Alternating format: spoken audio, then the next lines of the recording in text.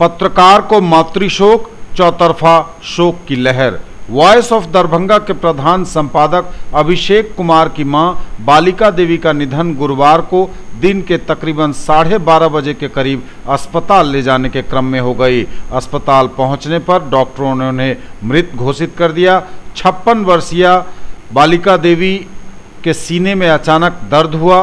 उन्हें डॉक्टर के पास ले जाया जा रहा था। इसी क्रम में उनकी दुखद मौत हो गई। उनका दाह संस्कार कबिलपुर गाँव में किया गया। वे अपने पीछे पति कौशल झा, पुत्र पत्रकार अभिषेक कुमार, पुत्री नीतू, पौत्र कृष्णा समेत भरा पूरा परिवार छोड़ गई हैं।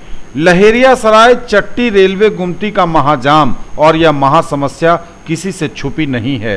गुमती के उस पार रहने वाली एक बड़ी आबादी तो हर रोज इससे दो चार होती ही है। आज एक पत्रकार के सर से माँ का साया भी उठा तो उसकी एक बड़ी वजह, यह रेलवे गुमती का बंद होना और इससे लगने वाला महाजाम रहा। समय से अस्पताल पहुंचकर ऑक्सीजन न मिल पाने की वजह से उनकी जान गई।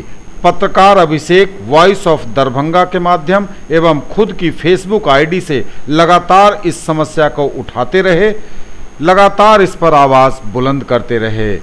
लेकिन अफसोस, आज उनकी माँ के निधन का भी यह एक बड़ा कारण रहा। यह तो तय है कि एक दिन यहाँ ओवरब्रिज बनेगा, लेकिन अभिषेक की माँ तो कभी अब लौट कर नहीं आएँगी।